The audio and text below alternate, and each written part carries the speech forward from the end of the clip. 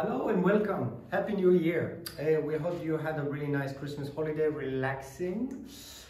We are back in 2022 and today I wanted to talk to you about what's happening in the next six months regarding trade fairs. Trade fairs are very, very, very important um, concept because that's the place when you go to see new ideas, to talk to suppliers, to see what's going on with the market, with new trends, new ideas, new concepts, everything. If you want to be up to date, you must go to these fairs. We actually visit almost all the fairs that I'm going to show you today as part of our job as a buying agent. So we must follow the trends to know what's going on in the market. So when we speak to a client, we know that we're going the right direction or it's been done a few years ago. So what we prepared for you today, if you can show on this whiteboard, is the trade fair for 2022.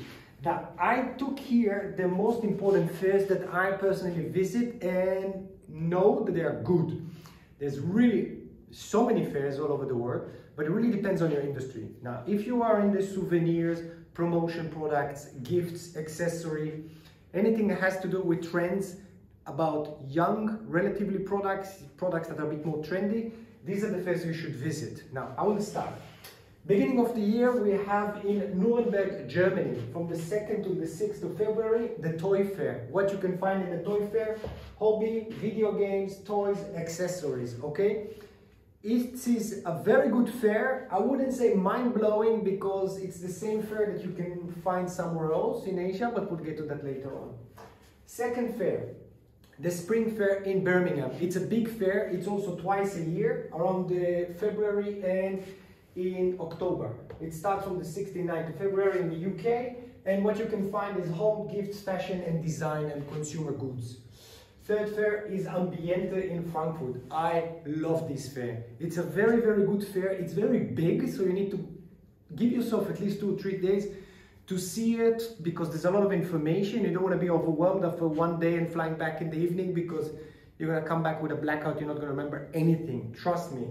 So, in this fair, you have consumer goods, you have living, you have gifts, souvenirs, gadgets, design, furniture. You can find everything. Now, the fairs in Europe normally are for wholesalers that have their stock. So they're trying to look for people that are gonna purchase their products. If you have a shop or a chain shop, that's the place when you go and look for new ideas. Ambiente Fair, very recommended.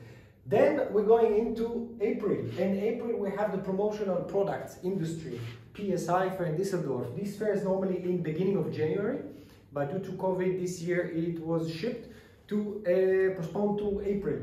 In this fair, we're gonna exhibit uh, Silverspot Trading, so you can come and to check out our buying services agent and discuss with us about any products that you want to manufacture. We will be happy to hear face to face in April 26 in Düsseldorf in Germany.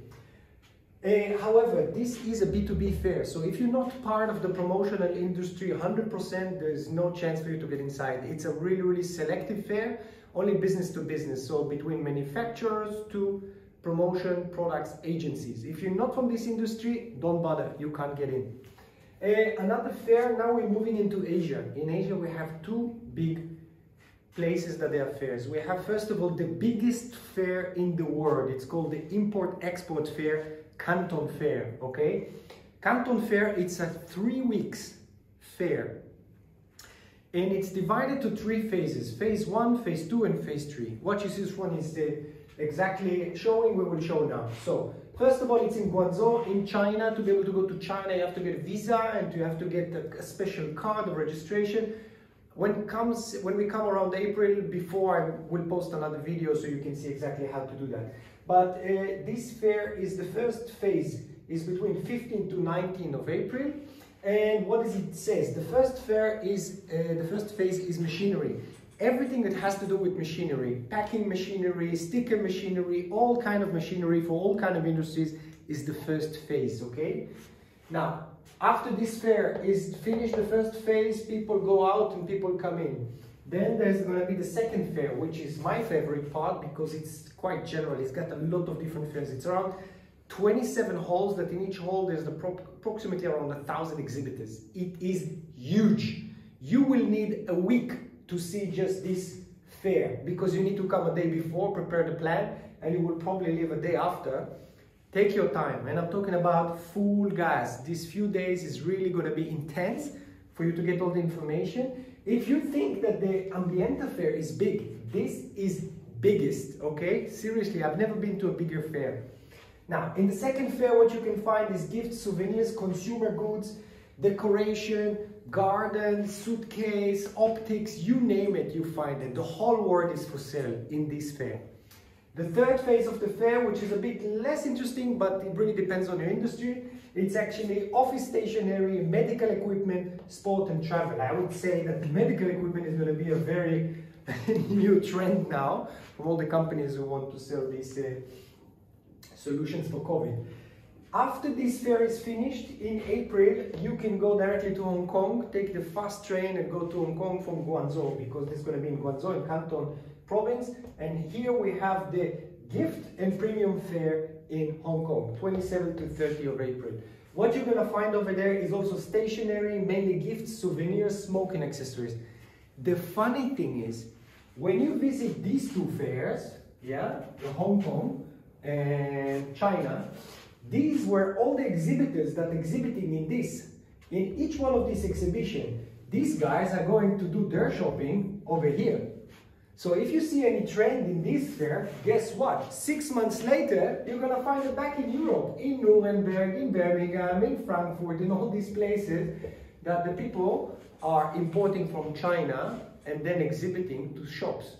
Because if you just have a shop, you cannot just go to China and say, yeah, I want 200 pieces. They're not gonna sell you. You don't reach the MOQ. You will need an importer or a distributor that is have the stock in Europe so you can order small quantity and check it out. But if you're a big importer, that's the place for you to go. I will post another one in the future. I hope it was uh, valuable information for you. And these are just the six months, the first six months of the year. There is plenty more fairs to visit with tobacco fairs and stuff, but it really depends on the industry. Don't just go and visit any fair. Try to be a bit more specific to see what is your industry. Afterwards, you see what's there. Then you can go and visit other fairs to get some new ideas. If you need any help, because we're visiting these things as we working as a buying agent, if you need any help or you have any comments, you have any thoughts about going to China, you need some advice, or where can I get tickets for this, or how can I do that, we will support you with whatever we can as part of our service. Thank you very much. Have a wonderful day and a good start for this year. Take care. Bye.